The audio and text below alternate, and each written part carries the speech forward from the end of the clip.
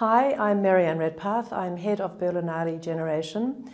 And it is my great pleasure today to talk to the US director, Jamie Sisley, who has made the wonderful film Stay Awake, which will screen in the Generation 14 Plus program in this edition.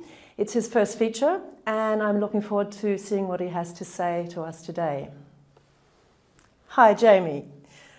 How are Hi, you? How are you? Yeah, good, thanks. doing- and um, it's a real I'm pleasure well. to, to, to meet up with you today. Congratulations on your fantastic film. And thank you for letting us screen it in Generation 14 Plus this year. It's a, it's a very important film. Um, for some reasons, we will have a time to discuss, hopefully. Um, but before we go on to talk about the film, um, I want to say you are not a stranger to the Generation uh, program and to the Berlinale. So we screened your short film with the same title, Stay Awake, um, 2015, right? That's Yep. right. Did yep. I do my maths? Okay. And uh, so I can imagine it's been a really interesting journey since then to get your feature length, your first feature up um, with the same name. And I, having seen both of them, I know there are a lot of uh, threads and similarities. Can you talk about the journey, just a, little bit about the journey between short film and feature film? Yeah, sure. Um, well, first, thanks for thanks for having me here. I appreciate it. Uh, it's really nice to see you. Um, yeah, it, it's. I think when I made the short film, the, the, both the short and the feature, are sort of based on my upbringing with my mom and my brother, and um, I think the short at first was sort of. I think that's kind of where I wanted to end exploring this story in general.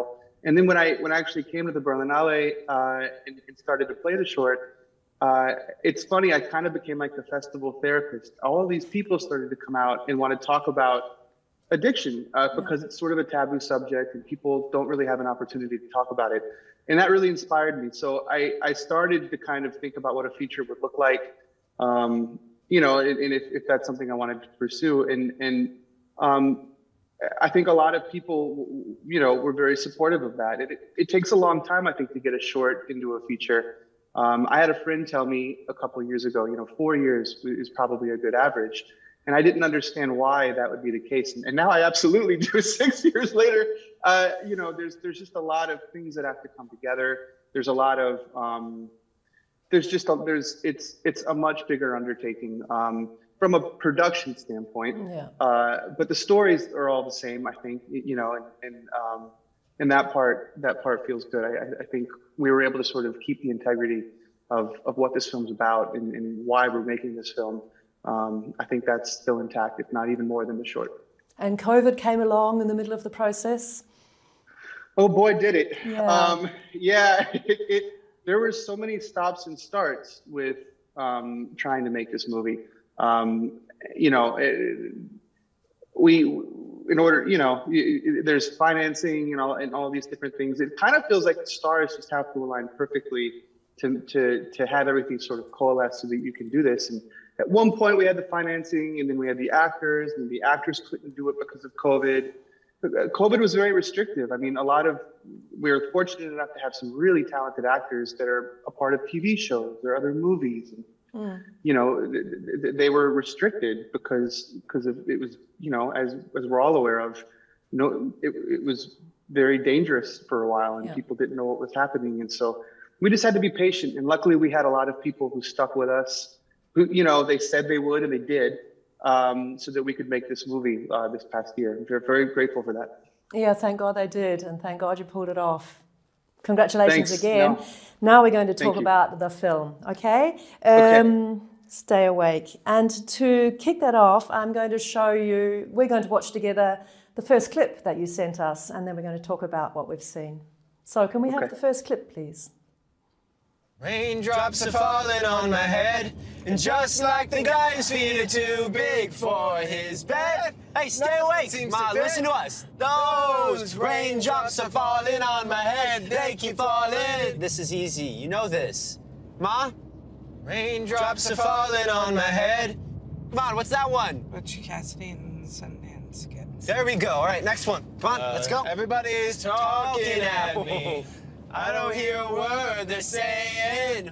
Only the echoes of my, my, my, my. That's a softball. I'm going where the sun keeps shining through the pouring rain.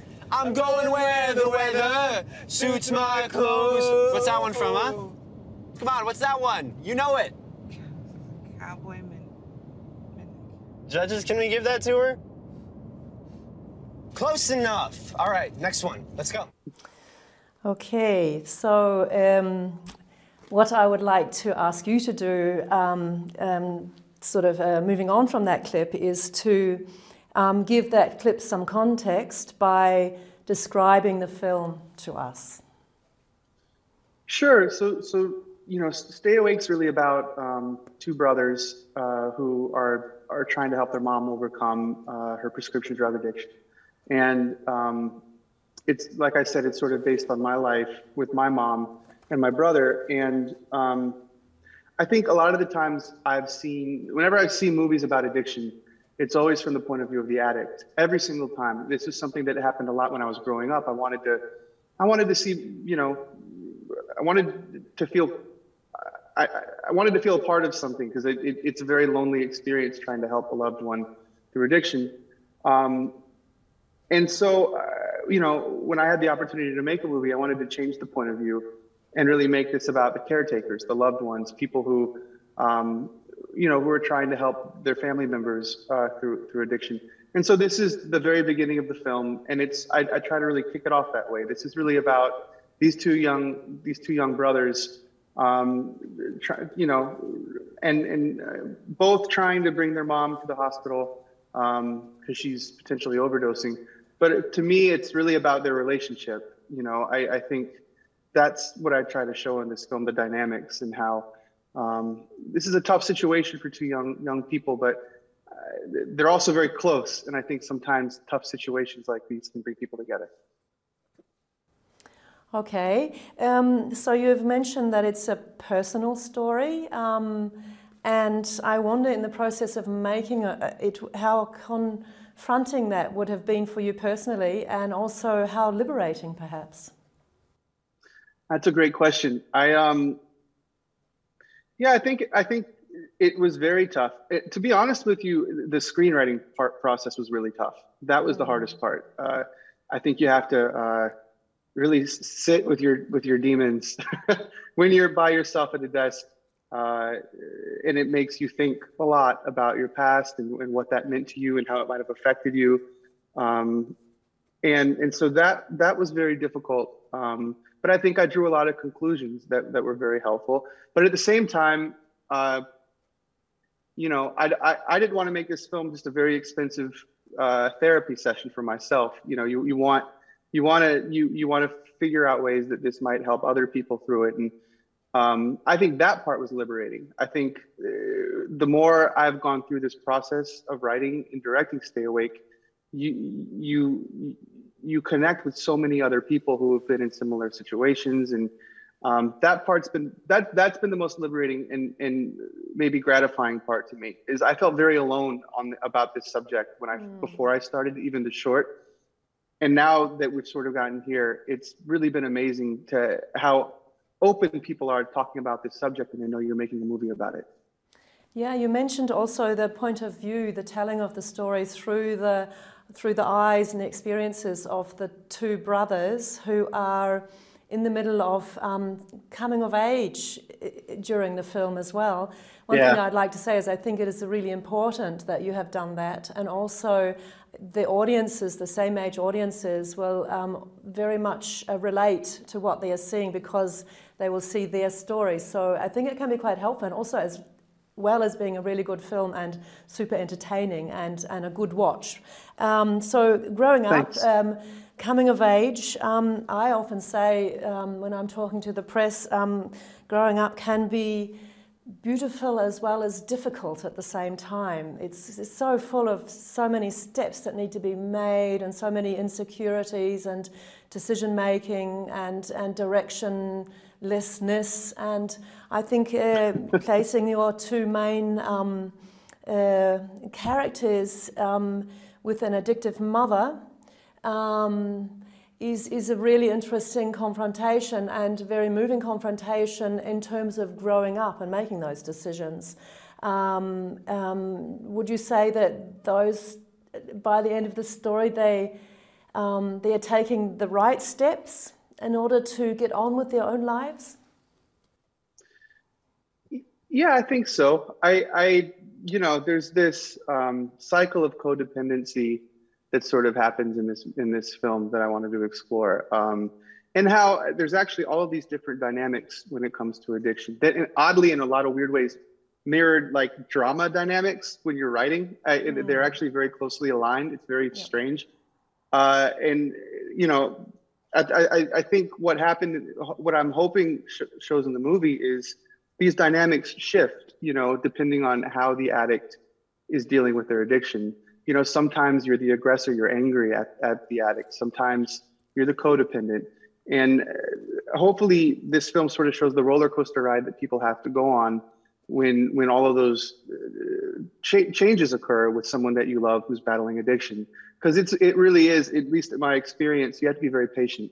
You know, sometimes they're doing well, sometimes they're not. And um, my hope though is that by the end, there's a little bit of hope in the film's ending that that um, both both young men have sort of figured out a way to um, I don't want to say liberate themselves, but but sort of you know realize that they need to sort of um, not fully sacrifice themselves for the sake of someone that they love, because that in the end of the end of, end of the day, it's not good for them either. It's not good for anyone. You sort of have to, you know, yes. get out there on your own. It's super complicated, isn't it? The codependency cycles that you're talking about. Um, and yeah. I think that um, um, watching the film, I became aware of that um, also in our society here in Berlin and, and Germany, that it's a big issue. Um, perhaps not the opioid uh, crisis, which is happening in, um, in the States. Um, how big is it there? It's pretty big. Um, I think it's. Uh, when I first started, even when the short went to the Berlinale, I, I didn't feel like people understood how prevalent the opioid crisis was in America. Now I feel like they do. It, there's actually been a remarkable amount of notoriety over the last, you know, five, five to seven years on this subject. What what I um, well, I'll also say something that surprised me whenever the short would travel was how prevalent it was in other parts of the, of the world as well. I actually think mm. that this this epidemic is a lot bigger than people think outside of the U.S. But while I'm glad that the opioid epidemic has received a lot of attention, uh, one one thing that I hope this film might bring to light a little bit in the ways that films can do or not do um, is there's a whole bigger conversation here to be had about prescription drug addiction. For example, I remember growing up and um, I'd watch a lot of television and they would always make jokes about Xanax. Like, you know, it's time to pop another Xanax or somebody give me a Xanax and I, you know, and in the other room, my mom would be passed out from Xanax. Uh, it, it, it, there's a lot of other drugs out there that are non-opioid uh, that I, I, think are just as dangerous because they're prescribed by doctors and people. People, it's more socially acceptable than maybe recreational drugs, and I, I think those need to now come to light a little bit too. Um, I think it's really dangerous because people don't. If you have an addict, if you have an addictive mindset, I think it's really easy to get trapped into addiction with those kinds of drugs because they're just people don't understand the dangers of them like others. Yeah, it is complex, isn't it? Basically, and it's everywhere. Um, let's get back to the film. Um, sure. I love how you work together with your three main cast. That's uh, well, Derek and Ethan, the two boys, and their mum yeah. Michelle. Um, I think uh, you you you have a very a talent, a, a, great talent for embracing your characters, making them feel comfortable with where they're at with your script mm. and with your film. And um, I really appreciate also the way in which you've used um, uh, shadow and light and dark and to bring humor into it. Um, and to, before we I'm going to show you the second clip, and then I'd like to talk to, to you about the humor element because I think it's, it, it lightens sure. things up a little bit when we're talking about these dark topics. So let's see the second clip, please. Can you grab me something? Yep. So, you got any homework? Allow me to rephrase. How much homework do you have? I got a 10 page book report due Thursday, which I'm screwed for, so. Please. You're the kid who cries C minus and always gets an A. Hated your kind in school. So, what's the book? Uh, Animal Farm. I like the movie. Think you're thinking Animal House. They're different. Just a little.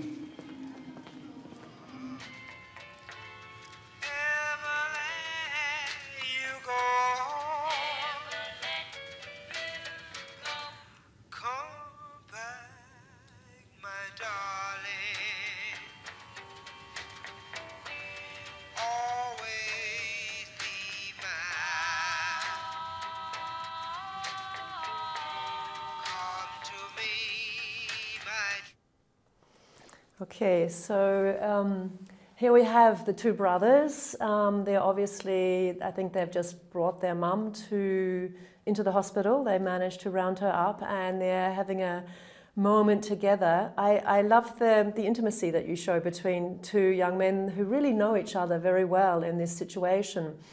And um, also the lightness of touch. Um, before I mentioned humor, um, the idea that the, the, the, lightening up of the serious topic. Um, can you talk about that, how you use that in your film?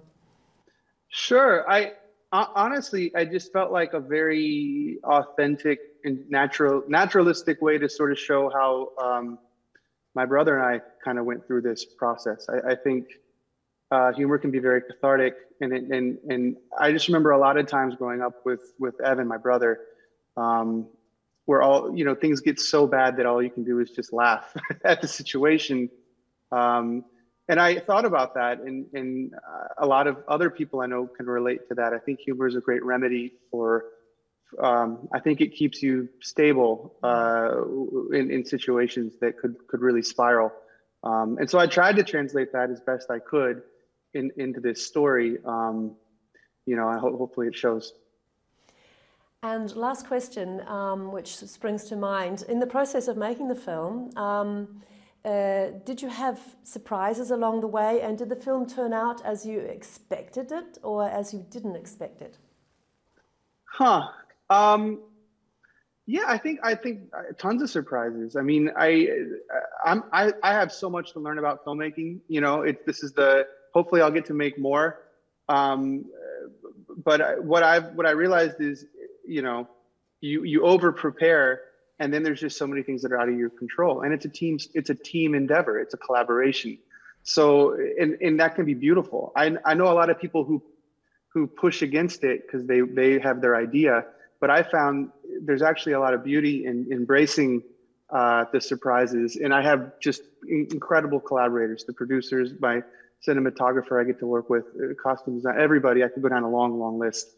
Um, but they bring surprises that that just that just wow you, you know. Um, and and so that happened every literally every day uh, while we were shooting and and editing. I mean, it, it still continues. It continued right up to yesterday. Um, and that's that's a beautiful part of making making film and making art, I think. Um, and did it turn out the way I I thought it would? No, not really. I I it when I first started to see uh, the performances, I thought every actor really took ownership of their character. And I, I, guess as a director, you have a decision to make. You can either try to make them adhere to what you had in your head, or you can take, I think, this approach that screenwriting is sort of a blueprint, and and that people bring their own th- themselves into their characters and that goes for every position the, for the cinematographer for the costume designer for and i think that's a really good way to to think about it because i think you get you get the best out of people when when when they approach their work that way. Um, you kind of become a composer i think. Uh, i feel weird talking about this because it's like like i'm some old wise owl who's made like 50 movies. I have it. I, I this is just from my one experience but this that felt really good to me and I think because of that or that orchestration of all of these people, it turned in, it was different. And I think I'm really proud of what we all made together. Um, I what I do think it does is it still embodies what I wanted this film to say and what I wanted it to uh, feel. And, and I, I think what I wanted people to hopefully take away from it, I think that's still there. And so that made that makes me very happy. That's a wonderful answer. You can be proud. So our time has Thanks. unfortunately come to an end. I do hope that you will go on making more films, but first of all, we're going to screen the premiere, the world premiere of Stay Awake uh, next week in Berlin, and I believe you're coming. So looking forward to continuing our conversation. Thank you very much, Jamie, for your beautiful words and your words of wisdom. And you are a bit of a wise old owl, I'm afraid. You'll have to wear that hat. yeah. Well, thank you. Thanks. Thanks for your time. Thanks for speaking with me. And, and again, thank you for having Stay Awake at the Berlinale. We couldn't be more excited. Okay.